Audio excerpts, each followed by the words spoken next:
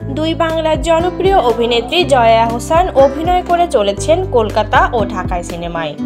দেখতে খুব হাসি খুশি ও চঞ্চল স্বভাবের মেয়ে জয়ার মনে লুকানো বড় দুঃখের কথা খোলসা করেছেন।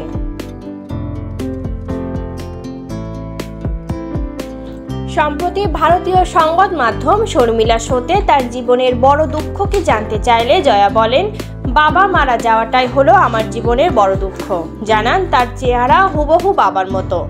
হাসিটাও অবিকল বাবার। বাবার মতোই রাগি তিনি।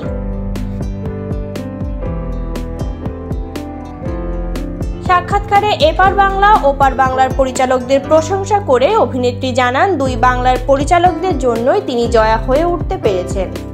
তাদের জন্য নিজের অভিনীত চরিত্রগুলোর ব্যাখ্যা বিশ্লেষণ করার সুযোগটাও পেয়েছেন।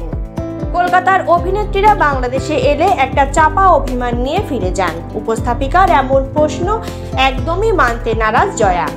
এ প্রশ্নের পাল্টা যুক্তিতে জয়া বলেন, এমনটা হওয়ার কথা নয়। সম্প্রতি স্বস্তিকা মুখার্জি বাংলাদেশে এসেছিলেন। তাকে বলতে শোনা গেছে, বাংলাদেশ থেকে তিনি লাগেজ লাগেজ ভালোবাসা নিয়ে ফিরেছেন।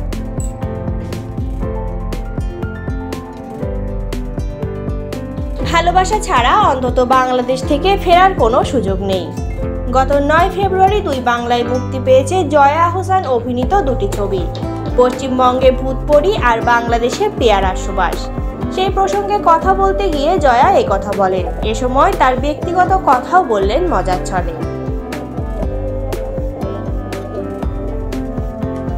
জয়ার জীবনে প্রেম তালিকা তৈরি হলে সেখানে কাকে কাকে রাখা হবে? জানতে চাইলে জয়া মুচকি হেসে বলেন, এই তালিকা আমি মিডিয়ার সামনে কেন বলব? তবে তোমার কানে কানে আমি সব বলে দেবো।